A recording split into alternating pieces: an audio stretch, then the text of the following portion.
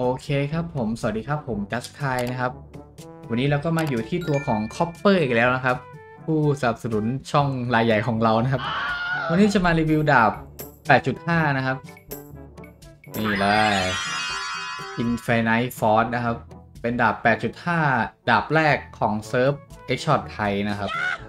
ก็คุณสมบัติประมาณนี้เลยนะครับ เดี๋ยวเราจะมีเอาไป test ในห้อง PVE นะครับ อาจจะน่าจะลงเวนเฟียเหมือนเดิมนะครับ แล้วก็อาจจะไปฟันธรรมดาให้ดูครับ ว่ามันเป็นยังไงเนาะลักษณะมัน Nope. แล้วก็จะมีรีวิวสัตว์เลี้ยงคร่าวๆด้วยครับนิดนึงมีให้ดูหน่อยหนึ่งนี่เลย น้องน่ารักมากแปลงร่างเป็นคนได้นะฮะเดี๋ยวไปดูแบบนี่นี่ดูร่างคนนะฮะมาสิลูก เออ แต่ผมรู้สึกว่าร่างเป็นแบบ PVE จะสวยกว่านะ ผมรู้สึกงั้นนะฮะ อันนี้มันก็สวยแหละ แต่ว่าร่างเป็น PVE มันก็สวยเหมือนกันนะครับ นี่ครับสำหรับใครที่อยากได้เสลียงตัวนี้ก็แน่นอนครับสุ่มไทม์สเปคครับเสียตังค์เหมือนเดิมนะฮะไม่มีอะไรได้มาแบบฟรีๆแบบไม่ง่ายอยู่แล้วนะครับผมนี่เราเปลี่ยนร่างกันโอเคแล้วเดี๋ยวเราจะมีไปทดลอง damage ปืนนี้ด้วยครับ ปืนคู่ UR แบบเอาเวทนะครับ ชื่อ Magic Universe นะครับ เดี๋ยวเราจะไปลอง damage ใน PVE เหมือนกัน ส่วนห้อง bomb เดี๋ยวไปทำแยกให้ดูทีหลังนะฮะ ไม่พูดพร่ำทำเพลงครับ เดี๋ยวเราไปลองฆ่าคนในห้องเลยนะครับผม โอเคครับผม ตอนนี้เราเข้ามาอยู่ในห้อง PVP เป็นที่เรียบร้อยแล้วครับ ไม่มีห้องมีดธรรมดาให้ดูนะครับ ก็เลยมาดูในห้องนี้แทน อันนี้จะรูปลักษณ์ตอนถือนะครับ จะเป็นประมาณนี้นะครับผม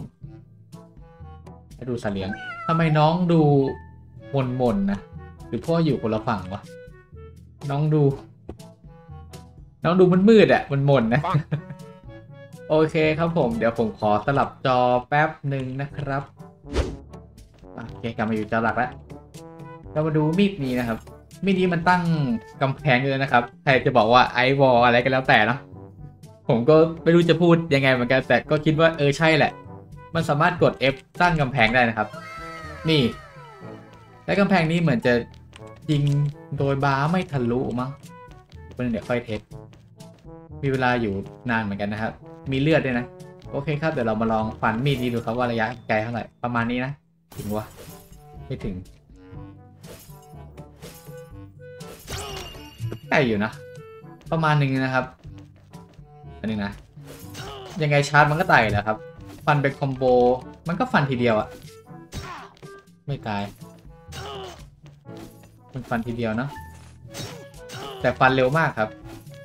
แต่ว่าเลือดตัวตัวหลักผมมันร้อยสามสี่นะ ไม่รู้ว่าฟันรอบแรกเข้าเท่าไหร่ปะเนี่ยนะขอผมเช็คกัน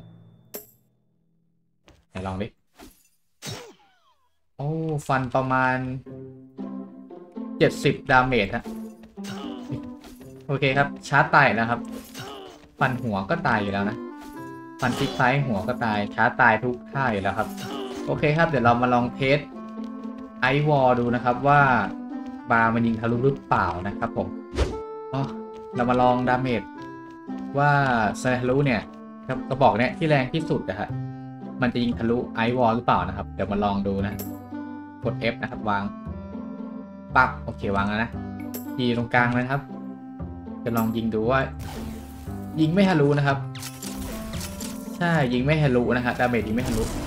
เพราะว่าวางเป้าตรงตัวเลย โอเคครับ ก็เกิดมาสกิลมันจะใช้ได้เลยว่ารู้สึก ก็ห้องบอมก็วางมีดบังสกิลครับอย่างไรก็กันโปได้นะพวกโปมองเงี้ยโอเค เดี๋ยวเราไปลองดาเมจใน PVE ดูนะครับผม โอเคครับผม ตอนนี้เราก็มาลองที่ห้องปลาหมูนะครับ อยากรู้ว่ามันจะแบบรัวขนาดไหนเนาะ ว่าไอ้ดาบเนี่ยกับเขาเรียกว่าอะไรดาบไปจนห้าเนี่ยกับ กับพงปักอันไหนมันจะแรงเร็วกว่ากันนะฮะก็เวลาเฉลี่ยผมจบไปอยู่ที่ประมาณเขาเรียกว่าอะไรอะอ่าเท่าไหร่วะสิบแปดนาทีสิบวินะฮะซึ่งดาบนี้มันสแต็กไม่ได้นะฮะเราก็จะวางนี้ไปเรื่อยๆนะครับมันลงคนเดียว ก็ตอนแรกว่าจะลงเฟียร์แหละ แต่ว่ามันน่าจะนานไปก็เลยมันลงนี่ดีกว่าไม่นานมากแล้วมันไม่ขึ้นวงแหวนให้ดูเหมือนเซิร์ฟต่างประเทศอะคือต้องกะเอาเองครับเนี่ยเพราะว่ามันมองยากตรงนี้แหละ ก็ถ้าใครไม่ได้อยากมีถาวรก็ เอ้ย ถ้าใครอยากลองใช้ ก็ต้องเติมเงินนะฮะ มีให้ลองใช้แบบสามวันอยู่ รู้สึกว่าจะเติมแค่กี่บาทเองร้อยปะเอ้ย โคตรเร็วเพื่อน เร็วมากเลยเนี่ยมีมีแค่ดาบเดียวสแต็กไม่ทับเหมือนเหมือนธงปักนะครับ เนี่ย อันนี้แค่ดาบเดียวนะเร็วมากเลยครับ ผมมองว่าใช้ได้ครับค่อนข้างที่จะเร็วเลยด่าน PVE โอเคครับ ตอนนี้เรา test ด่านเอ่อะไรสักอย่างครับผมลืมชื่อไปแล้วเรามา test damage skill สัตว์เลี้ยงนะครับ ว่าแรงหรือเปล่า ยิงกับบอสดิยิงตัวอื่นดิยิงตัวอื่นดิ damage เข้าทีร้อยแปดสิบเจ็ดโอ้โหแม่งล็อกบอสว่ะ เออ สวย damage damage ก็ประมาณหนึ่งครับ น่าจะร้อยแปดสิบเจ็ดนี่แหละ แต่ว่าที่แน่ๆคือยิงเร็วมากนะครับ สังเกตเสียงที่ยิงนะฮะ ส่วนดาบนี่ไม่ต้องพูดถึงแรงอยู่แล้วครับ โอเคครับตอนนี้เราเข้ามาอยู่ในห้อง bomb แล้วนะ รอบนี้เราจะมา test skill สัตว์เลี้ยง8ดาวรอบนี้นะครับว่าทำอะไรได้บ้าง เดี๋ยวเราจะลองยิงที่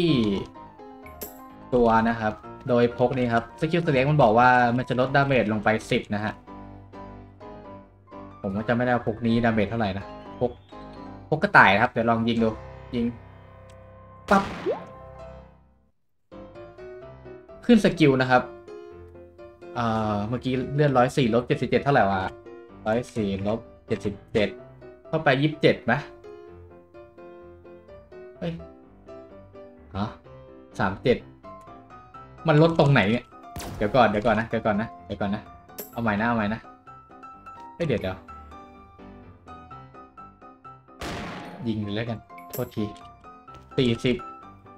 เจ็ดเจ็ดลบสี่สิบเท่ากับสามเจ็ดมันลดตรงไหนเนี่ย มันลดตรงไหน ใช่ไหมผมว่าผมเข้าใจถูกนะ ก็ร้อยสี่ลบเจ็ดสิบเจ็ดก็เท่ากับสามสิบเจ็ดนะฮะเจ็ดบวกเจ็ดได้สี่ทดหนึ่งเฮ้ยหรือว่าลดยี่สิบเจ็ดวะวันนึงวันนึงตกเลยแล้ววันนึงขอคำนวณแบบอะร้อยสี่ลบเจ็ดสิบเจ็ดเท่ากับเจ็ดอ่าเดี๋ยวเดี๋ยววันนึงครับอ๋อเท่ากับเจ็ด ยี่สิบเจ็ดใช่ไหมเจ็ดเจ็ดสี่ทดหนึ่งสามร้อยสี่อ๋อเหลือยี่สิบเจ็ดโอเคครับเขินเลย แล้วบวกเลข คิดเลขแบบฟังย่าคูณแบบบวกลบแบบช่องช่องแชทเลยนะ ก็คิดง่ายๆก็คือ skill สัตว์เลี้ยงมันจะทำให้ damage ที่ที่โดนยิงอะครับเบาลง 10 นะครับ ก็ใช้ได้แค่กี่รอบเนี่ย ครั้งหนึ่ง win หนึ่งได้สองรอบฮะ เดี๋ยวลองยิงอีกรอบก็เมื่อกี้สี่สิบปั๊บ เห็นปะมันจะเหมือนมีออร่าขึ้นที่ตัวครับ แล้วก็ลดไป โอเคครับ ก็ damage เอ้ย skill สัตว์เลี้ยงของห้อง PVP ก็ประมาณนี้ครับ โอเคครับผม ตอนนี้เข้ามาสู่ด่านบอสเป็นที่เรียบร้อยนะ เราจะทำการฝักนี้ไว้ก่อนแล้วก็ยิงนี้ครับ damage มันก็ สองร้อยครับ อันนี้คือมีระเบิดนะ แสดงว่า damage ไม่ได้แรงจัดขนาดนั้น แต่ว่ายิงรัวยิงเร็ว ก็เลยมาทดแทนส่วนนั้นนั่นเลยครับ เดี๋ยวไว้ไปลงคลิป PVE ด่านหุ่นยนต์หรือว่าด่านลูกหลานให้ดูอีกรอบแล้วกันนะครับปืนนี้ โอเคครับเดี๋ยวตัดออกไปหน้าข้างนอกเลยนะครับล็อบบี้สำหรับคลิปนี้ก็คงจบเพียงเท่านี้นะครับ ในส่วนของ อ่อมีด 8.5 ผมมองว่าค่อนข้างที่จะ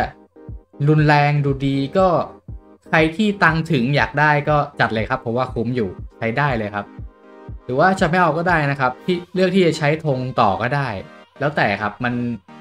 มันมีคนละอย่างครับแต่ damage มันเวอร์จริง 150 ต่อวินะฮะเดี๋ยวขอดูก่อนโอเค นี่เลย สร้างพายุหิมะ damage 150 ความถี่ 6 ครั้ง ต่อวิ ต่อเนื่อง10 10วิโอู้